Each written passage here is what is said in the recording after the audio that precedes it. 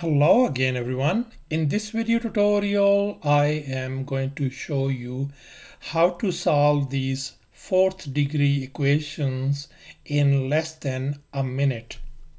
Let's go ahead and get started with the very first example.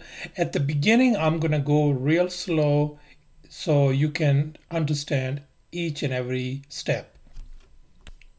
So as you can see the x power 4 is pretty cumbersome. We want to make it simple. In order to do that one, we will be using a substitution method. So I'm going to start with this thing saying let u equal to x square. Then what can you tell me? u square simply become x square and then power 2. So u square is simply x power 4. So we got these two substitutions that we're going to make in this equation. So x power 4 according to this become simply become u square minus 13 times x square is u in our case plus 36 equal to 0. So this becomes real simple quadratic equation with a u variable. So let's go ahead and factor this one out. What are the possible factors of this going to be? One of the factors is going to be u minus 4. The other is going to be u minus 9 equal to 0. We're going to split it up. I'm going to put down u minus 4 equal to 0. The other side is going to become u minus 9 equal to 0. So that means u simply become positive 4 and this side u become positive 9. So now since we started off with u was x square, now I'm going to plug it back to x variable. So this is x square equals to 4 and on this side this u become x square equal to 9. So far so good. So next step we want to do is we want to solve for x. So I'm going to take the square root on both sides to get rid of this square. So this square and square root onto each other. So x is going to be simply positive or negative 2. Likewise on this side over here, we take the square root on this side as well to get rid of this square. So this uh, uh, square and square root onto each other, we got simply x equal to positive or negative 3. So thus our solution set is going to be these numbers, whatever we got the solutions. Uh, if you split them up, it's going to become negative 2, positive 2, negative 3, and positive 3. And as you can see, how many solutions we got? We got 4 solutions. And since our highest degree is 4, so at most we're going to get 4 solutions. Now we're going to focus on our next example. We're going to solve this fourth degree equation and we're going to use the same way as we did before, use the substitution method. So let's go ahead and get started with saying let u equal to x square, then u square is going to be simply x square and then power 2. So u square becomes simply x power 4. We're going to plug it in these substitutions in this equation. So this simply become u square minus 5u plus 4 equal to 0. So this become a quadratic equation. So now we're to simply find the factors for this one over here.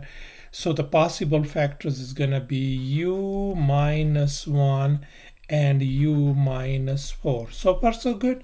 Now we're to split them up since this is equal to 0. So I'm to say u minus 1 equal to 0 and on this side u minus 4 equal to 0. So u turns out to be equal to 1 and in this side u turns out to be equal to 4.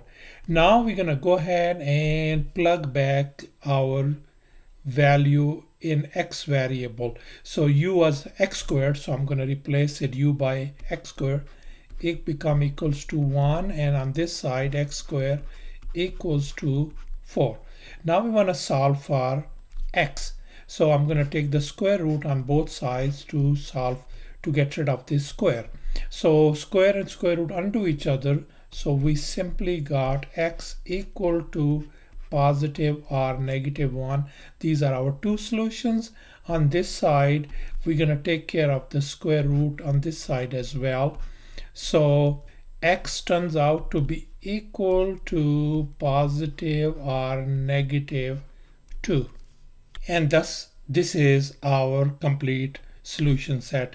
And our solution is negative 1, positive 1, negative 2, positive 2. And finally, we're gonna solve this given fourth degree equation by using the substitution method as well.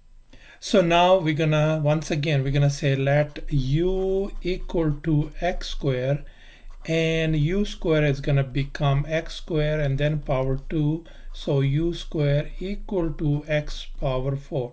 We're gonna go ahead and make the substitution in this equation. So this simply is going to become 9u square minus 13u plus 4 equal to 0. So we got a quadratic equation with the u variable. So we're going to go ahead and find the factors. And the possible factors, as you can see, is 9u minus 4 and the other one is u minus 1. Since this these two factors equal to 0, I'm going to split them up. 9u minus 4 equal to 0. The other one is u minus 1 equal to 0.